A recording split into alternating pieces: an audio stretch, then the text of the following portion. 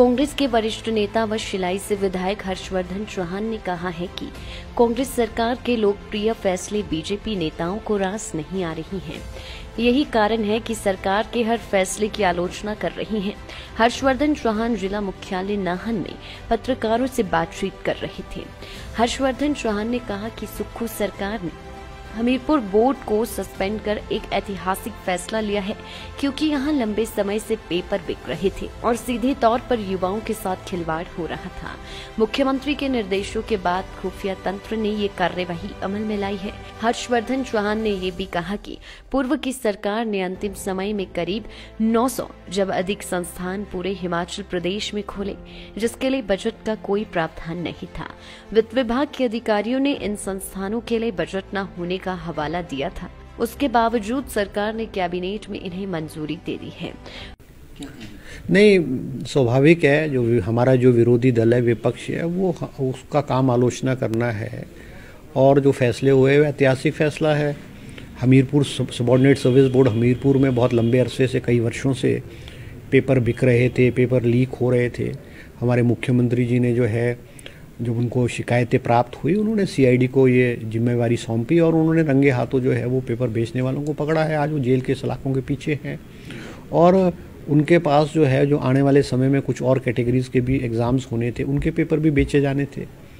तो एक बड़ा अच्छा कदम है, ऐतिहासिक कदम है और हमीरपुर बोर्ड को सस्पेंड किया गया फंक्शनिंग को सस्पेंड किया गया अभी तो हमीरपुर बोर्ड में से कुछ लोगों को अरेस्ट किया गया कुछ लोगों की अभी तफ्तीश चल रही है पता नहीं कितने लोग इन्वॉल्व होंगे कितने उच्च अधिकारी उसमें इन्वॉल्व होंगे तो एक ऐतिहासिक फैसला है। तो हमारा जो कार्यकाल है कोई एक महीने का कार्यकाल थोड़ी है वो तो हमारे पास पाँच साल का समय है और हमने जो वायदे किए हमने दस वायदे हिमाचल प्रदेश की जनता से किए वो पूरे किए जाएँगे चरणबद्ध तरीके से पूरे किए जाएँगे और सबसे पहली बात है कि हमारी जो फुल कैबिनेट बनेगी कैबिनेट तो आज भी बनी हुई है मुख्यमंत्री है उप मुख्यमंत्री है और कैबिनेट द्वारा फैसले जो है वो सर्कुलेशन से लिए जा रहे हैं। मगर जिस दिन फुल कैबिनेट बनेगी, उस दिन जो ओपीएस है ओल्ड पेंशन स्कीम है, जो हमने हिमाचल के कर्मचारियों से वायदा किया, वो फ़र्स्ट डे उसको लागू किया जाएगा।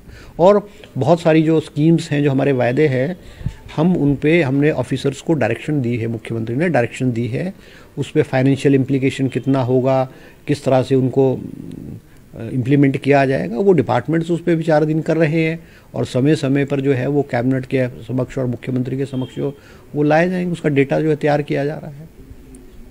हर्षवर्धन चौहान ने कहा कि पूर्व सरकार ने कुछ संस्थान एक एक कमरों में तो कुछ संस्थान गौशाला के भीतर भी खोल दिए।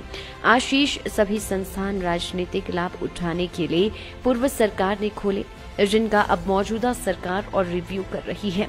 और ज़रूरत पड़ी तो आवश्यकता अनुसार कुछ संस्थानों को खोला भी जाएगा।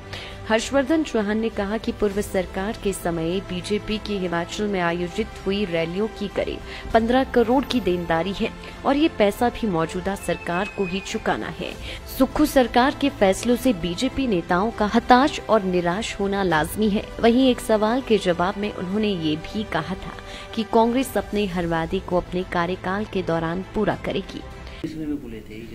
नहीं, देखो, दफ्तर जो खुले थे, हिमाचल प्रदेश में कोई 900 के करीब दफ्तर जो है ऑफ़िस हैं स्कूल्स हैं हेल्थ इंस्टीट्यूशंस हैं, और अधिकांश इनमें से जो इंस्टीट्यूशन खोले थे, वो पैरामीटर पे नहीं बैठते थे। और बजट का कोई प्रोविज़न नहीं था। फाइनेंस डिपार्टमेंट ने इनमें ऑब्जेक्शन किया था क्योंकि ये पैरामीटर पे नहीं बैठते थे। उसके बावजूद कैबिनेट ने चुनाव को देखते हुए ये इंस्टीट्यूशन खोल दिए, और कई इंस्टीट्यूशंस तो एक कमरे में खोल दिए। कई इंस्टीट्यूशन गौशाला में खोल दिए और कोई स्टाफ का प्रावधान नहीं किया गया। उससे हुआ ये कि जो नए संस्थान खोले थे, वो भी नहीं चले और पुराने संस्थान से स्टाफ को उठा करके नए में लगा दिया। तो वो दोनों ही इंस्टीट्यूशन जो है, वो ठप हो गए। अब सरकार जब प्रेजेंट गवर्नमेंट आई है, उसकी जिम्मेवारी है जो स्कूल्स हैं हेल्थ इंस्टीट्यूशंस हैं या और दफ्तर हैं, वो सुचारू रूप से चले ताकि लोगों को सुविधा प्राप्त हो। अब लोगों को दिक्कतें हो रही थी। और सबसे बड़ी बात यह है कि जो ये इंस्टीट्यूशंस खोले गए थे आखिरी छः महीने में ये 900 के करीब थे और इनका जो खर्चा सरकार के ऊपर होना था, लगभग पाँच हज़ार पाँच हज़ार करोड़ रुपए सालाना है। आज सरकार का जो है वो दिवाला पिट चुका है। आज इस प्रदेश में पचहत्तर हज़ार करोड़ रुपए का लोन है और बहुत सारी देनदारी, कोई पचहत्तर, पाँच हज़ार करोड़ की देनदारी पिछली सरकार की, इस सरकार को वहन करनी पड़ेगी। जो रिटायर्ड एम्प्लॉज़ रिटायर्ड एम्प्लॉज़ हैं, उनका जो एरियर्स है सिक्स पे कमीशन का वो देना है। डीए है एचआरटीसी की बसों जो भाजपा के नेताओं के रैली में इस्तेमाल की गई है कोई पंद्रह करोड़ रुपए की देनदारी वो सरकार को देने तो बहुत सारी देनदारी है पिछली सरकार की। और सारे डिसीज़न जो राजनीतिक आधार पे पिछली सरकार ने किए गए तो उनको रिव्यू किया गया, कैंसिल किए गए।